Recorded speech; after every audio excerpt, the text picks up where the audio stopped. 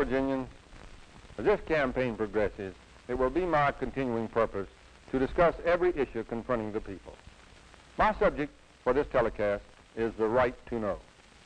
The people have the right to know what's going on in all phases of our state government. And if I'm elected your governor, I pledge that it will be my policy to make public the public's business. It would seem obvious to say that debate of issues in government is a key factor in any political campaign.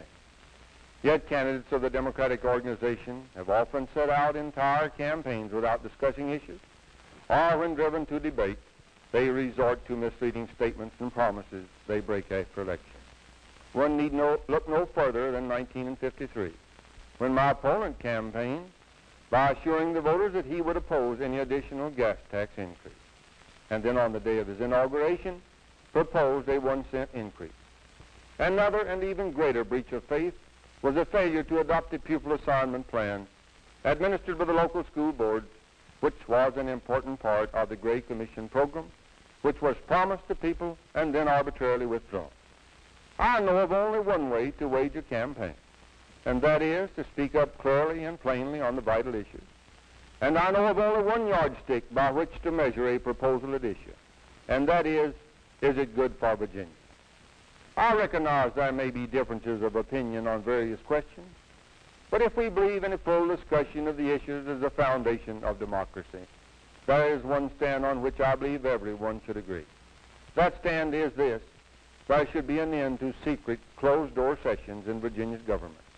For too long, there have been too many secret, closed-door meetings in the committees, departments, boards, commissions at various levels of our state government.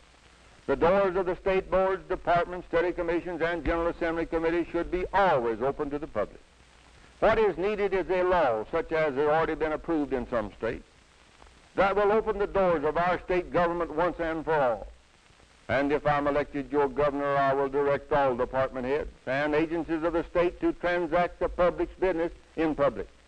A law is needed to nail down this guarantee forever. There are those who argue that they can discuss problems and arrive at solutions more easily behind closed doors. My answer is the public should know how and why proposals are put together. If there are office holders who shrink from working in the open, then there are hundreds of capable, forthright Virginians who are ready to relieve them. It seems to me all candidates for office in November, Republicans, Democrats, and Independents, opposed or unopposed, should be asked by the voters to pledge to open the doors on all public hearings and all public business. Since the people are to live under the laws passed by the General Assembly, there should be no blackout of information and no blindfolding of the press, radio, and television when those laws are in the making. A free flow of information is a guarantee of clean, progressive government.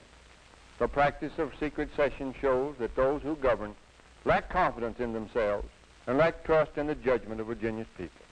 Good government is a two-way street, and those who meet behind closed doors cut off a vital avenue of the people. We should have nothing to hide, but should gladly and willingly open to the public all documents and all deliberations at all levels of government. Citizens have an inherent right to know more about the reasons for personal restraints and taxes than the mere announcement of what somebody else has already decided.